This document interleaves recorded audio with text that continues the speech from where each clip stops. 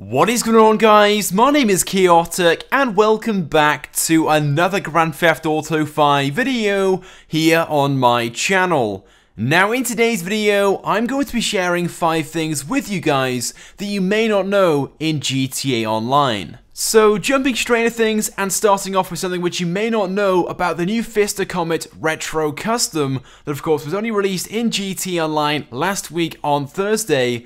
That being there is no option in the custom shop whatsoever to change the license plate on the back of this car. By the looks of things, Rockstar have forgotten to add this option in the custom shop, so unfortunately there is no way to physically change the license plate on this car. If you want to set a custom plate, what you need to do is set that that license plate when you first purchase the Comet before you go to upgrade it either in your office garage or down at Benny's original motorworks. Otherwise, you're stuck with the standard plate this car comes with when you upgrade it. Now, although it's been snowing for a few days now in GTA Online, I have a quick tip or trick to share with you guys, which will make driving in the snow much, much easier that being to fit off-road tyres to your vehicle. Although it is kind of obvious, by fitting off-road tyres it will give you much better grip and traction on the road whilst driving around in the snow, which means when controlling your vehicle, especially around corners, it becomes a lot easier. Now although you can apply this tip or trick to any vehicle, I personally would recommend avoiding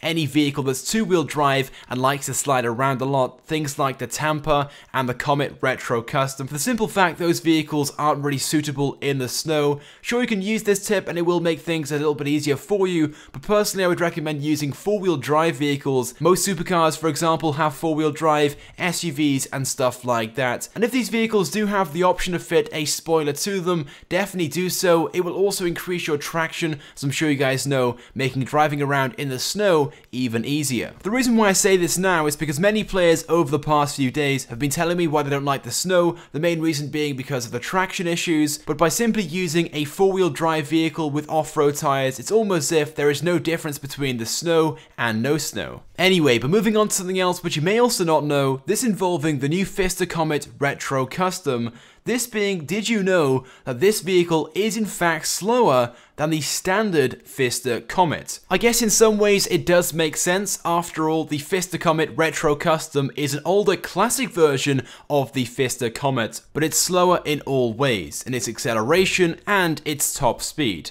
Now sure the difference itself isn't massive, we're talking maybe a mile an hour or two, but nevertheless it is slower and that's something which you guys may not know. And this in fact is a very similar situation with most of the custom variant vehicles available with the import and export update. The only exception being the Truffade Nero as the custom variant is slightly faster, but overall all the other vehicles which have a custom variant you'll find that in a straight line the custom variant is slower all round. Anyway, but moving on and up next, did you guys know that with the Festive Surprise 2016 update, the color of the fireworks you fire with your firework launcher have in fact changed? I did in fact notice this a few days ago in a live stream, but at the time wasn't really too sure whether it was a normal thing or not until you guys told me and confirmed they have in fact changed.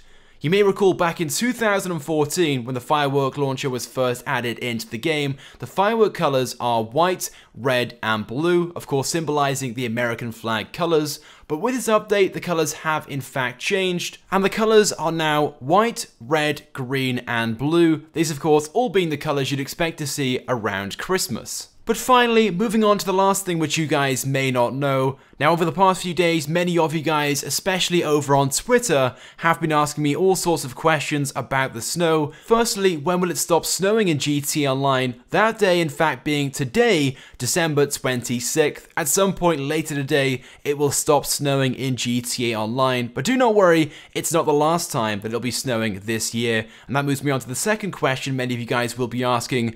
Will it be snowing at any point later this year? And yes, it will be. It'll be snowing on New Year's Eve and New Year's Day, so on the 31st of December and then on January 1st. I'm not too sure if it's going to be snowing before then or after then. Rockstar haven't confirmed any of those days yet. They have confirmed on the newswire we can expect some more snowfall on New Year's weekend. But who knows, although the snow will be removed from GT Online at some point later today, it may in fact begin snowing earlier than Rockstar have said on the newswire, just like the current snow snowfall in GTA Online. But I guess we'll have to wait and see on that one. But until then, guys, that's pretty much it then for this video. I hope you guys have enjoyed it. Those are five things in GTA Online that you may not know about. Let me know your thoughts and feelings about these by leaving a comment on this video. It would also be greatly appreciated if you guys could also drop a like on the video as well, as it helps me out a lot.